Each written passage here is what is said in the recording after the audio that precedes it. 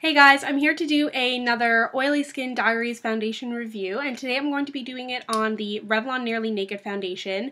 Um, I had not really planned on buying this foundation because I do have a good few, but my Revlon Colorstay Whipped foundation, the cover broke, and I just emailed them and said I was like kind of disappointed, and they sent me $20 in Revlon money. So I decided to pick up the foundation and the powder. I got the foundation in 260 Caramel, which one is, is one of the darkest shades, um, but I just got back from Cuba, and my body is a lot darker. I did use a fairly high SPF on my face. It is darker, but I needed to blend in with the rest of my body. And I got the powder in Deep.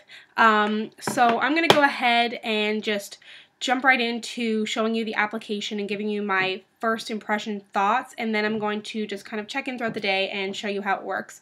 Um, one disclaimer, I will say that my skin isn't as oily as it used to be. I finished up Accutane so um, my skin has, uh, I, I would say it's kind of like airing towards combination, but it's definitely still um, oily. So I'm going to go ahead and put this on. Um, I will say, though, that the cover is really, um, I don't know if I just have bad luck with Revlon covers, but uh, it is really, really tight, so I'm not totally sure if that's how it normally is. It is a pretty uh, liquidy consistency, so I'm going to go ahead and just get a little bit closer, and I'll show you how it applies.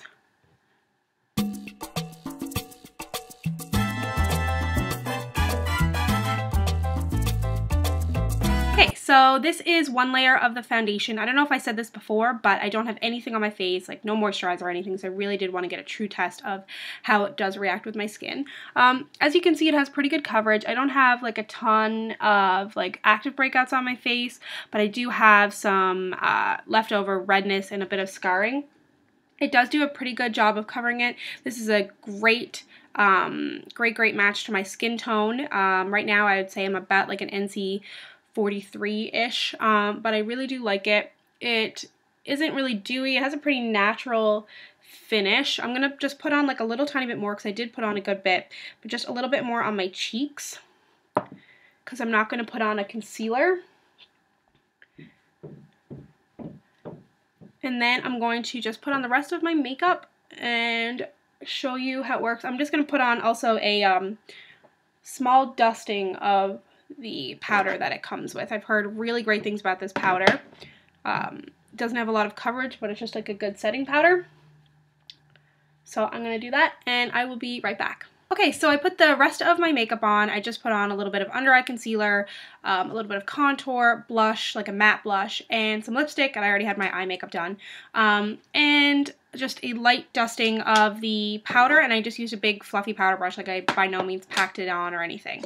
And it doesn't have a matte finish. I would definitely say it is closer to a natural, leaning towards dewy, but I really do like the finish of it. Um, I love the way it makes my skin look. Um, I've heard a lot of people say it does have a really light coverage, but I would definitely say that this is medium coverage, especially if you wanted to put on a concealer. I didn't use a concealer. Um, but I also wanted to say it doesn't say it has any SPF in it, but it does in the ingredients say it does have titanium dioxide, which tends to be the ingredient that is in products that do have SPF. So I'm going to take a picture and show you how it turns out. Right now it is um, 12... 1232. So I will come back in a few hours and show you how it is holding up throughout the day. Alright, so it's been about four hours since I applied it. It was just after 12 when I initially put it on, and it is now uh, 427. So, uh, as you can see, there's like little to no, there's a little bit of shine, but I think that might just be the lights. But like, if I look at my face really close, uh, there's not much oil has come through at all, and um, I'm really, really happy with it. It hasn't oxidized. It's still the same color as when I put it on. Um, one thing I will say is it it doesn't exactly like minimize pores, even though I know that's not something it said it was going to do. Um, but that is something to consider if you do have large pores, but that can easily be solved with a primer. And I'm just going to show you a picture of what it looks like with flash photography. It uh, dealt pretty well. There was no major um, white cast over my face or anything like that. So this seems like foundation that you could wear out during the night. Um, but I'm going to give it a few more hours before I give you my final review, so I will check back then. Okay, so I've had the foundation on for about seven hours. It is now 7.47. I put it on just after 12 o'clock today, and I'm getting ready to shower and go out. So I wanted to give you all my final thoughts on the foundation. There are a few things that I look for when I'm doing these oily skin reviews or just foundation reviews in general.